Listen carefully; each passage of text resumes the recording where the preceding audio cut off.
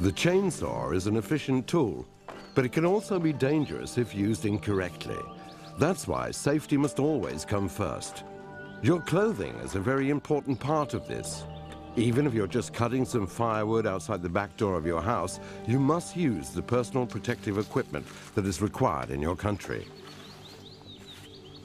The best items of equipment are highly visible, ventilated protective jacket and trousers fitted with saw protection. Of course, protective equipment cannot prevent an accident from occurring, but it can help to reduce the extent of the injury. You should also have boots with a steel toe cap, saw protection and a heavy tread.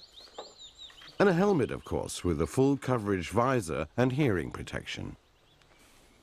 Make sure you've got a first aid kit readily accessible, and it's a good idea to carry a mobile phone and a whistle so that you can call for help easily if something happens. Protect your hands with a pair of strong gloves and, if possible, bring someone with you when you work, especially if you're inexperienced.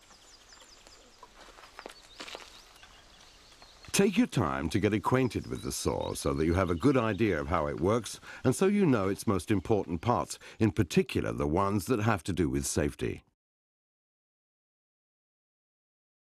The throttle control is on the inside of the rear handle.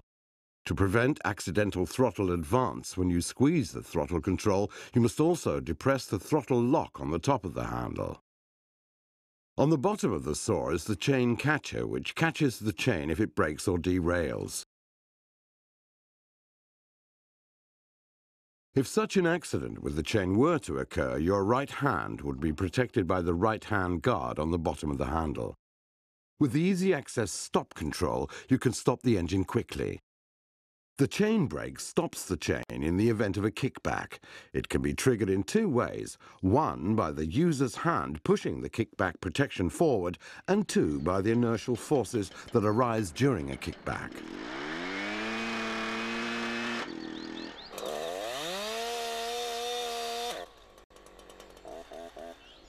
Kickback can occur during most types of operations due to lack of care.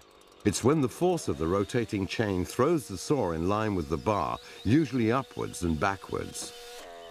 Kickback is caused by the saw contacting something with the upper part of the bar nose. Never make the saw kick back intentionally.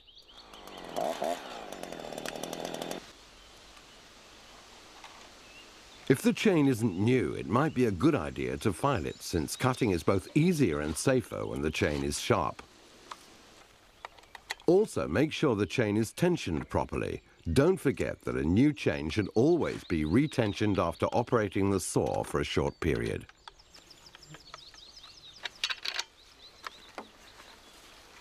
When filling the saw with fuel and chain oil, place the saw on a stable surface. To reduce dangerous emissions, choose environmental petrol and vegetable-based chain oil.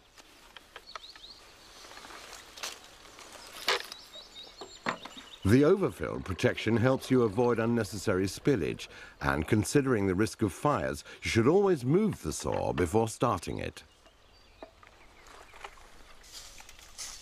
It's good to work together with someone, but make sure they're at least five meters away when you start to use the saw.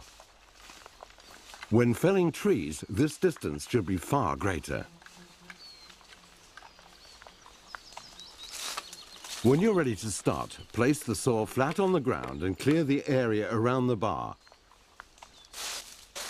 Activate the chain brake by pushing the kickback protection forward, as otherwise the chain will start to rotate when the saw starts. Depress the Smart Start decompression control if the saw has this feature.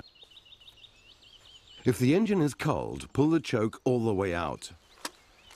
Put your right foot part way through the rear handle and hold the front handle firmly with your left hand. Pull the starter handle with your right hand until the engine starts. Now push the choke in again with the throttle on halfway. Continue to pull the starter handle until the saw starts. Hit the throttle once so that the engine speed drops to idle.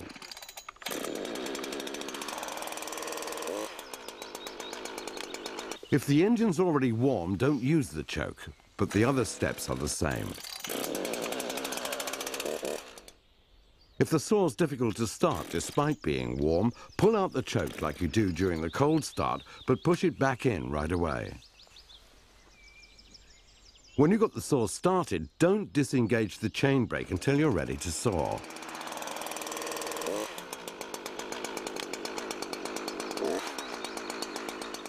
Now check that the chain brake works. Place the saw on a stable surface and squeeze the throttle. Activate the chain brake by pushing your left wrist against the kickback protection without releasing the handle. The chain should stop straight away. Also check the chain lubrication. Hold the saw against something light in color, such as a stump, and hit the throttle. A line of oil should then be visible on the surface.